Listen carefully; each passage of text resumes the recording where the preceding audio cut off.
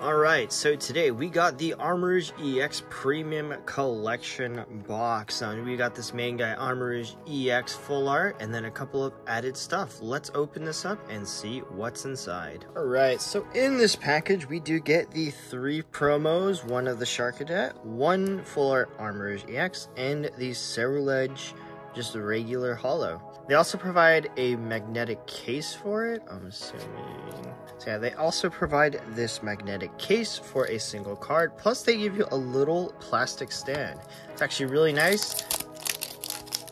So I believe on the other premium collection boxes, they they only had the um, they only had like this material the stand, but now they actually gave us like a single card standee, so that's really cool. Go ahead and set this right over here. And we get some nice Armarouge and Ceruledge sleeves. These are really sick. I'm actually pretty stoked about these ones. But we also get six packs, two Obsidian Flames, two Paradox Rift, and two Temporal Forces. Let's break these open and see what's inside go ahead and start with the Obsidian Flames. There's nothing really I'm looking for in these sets. I mean, I guess more Charizards wouldn't hurt, but let's see if these have anything good. We got a Shuckle, Bisharp, Frogadier, Stunfisk, Clodsire. We get a Geeta. Alright, this looks like a special illustration rare. I actually never opened um, any Obsidian Flames, but this is a pretty good start to this collection. Definitely cannot be mad about getting this hit. I'm gonna have to look it up later and see what rarity it is, just because I'm not too familiar um, with this set. But right off the bat, immediately just getting a hit. Definitely gonna throw that in the binder. Let's see if any of these other packs have just as good hits. We got a Varoom, Finizen, and a Claydol. There's a code.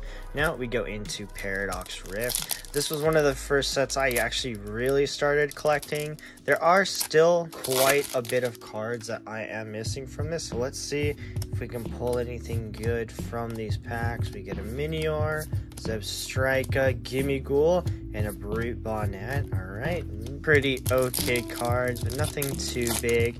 You know, just having the Armarouge EX alone, plus having the Super 6 sleeves, was really sort of the selling point to me on this collection. TM Devo, Gimmighoul. We got a Mewtwo EX, alright. So that's pretty nice. We got one hit from each of the different sets. Let's see if we can get anything from this Temporal Forces packs. Uh, I did open quite a bit of Temporal Forces. I think the only thing I'm really looking for is a Hero's Cape. That is the one ACE SPEC I'm actually missing. So I'm hoping maybe I won't have to buy it individually and I can just pull it. Let's see if we get last pack magic. Can we see an ACE SPEC in this last pack? Looking on the sides, I don't see any of that pink. So I don't think we got an ACE SPEC. But let's see if we get any hits. Got a Buddy Buddy Poffin, a Valiant Reverse, Unfezant, and a Walking Wake EX. So he did get a hit in each of the different packs. Honestly, I think I had better luck in this premium collection than I did most of the other ones because we did get three hits, one from each of the packs. I'm assuming this Geeta is going to be the most valued one out of these three. Plus, we also just get this Full Art Armor EX with the little standee. Very cool, but let me know if you guys were opening yours and see what you guys can get dead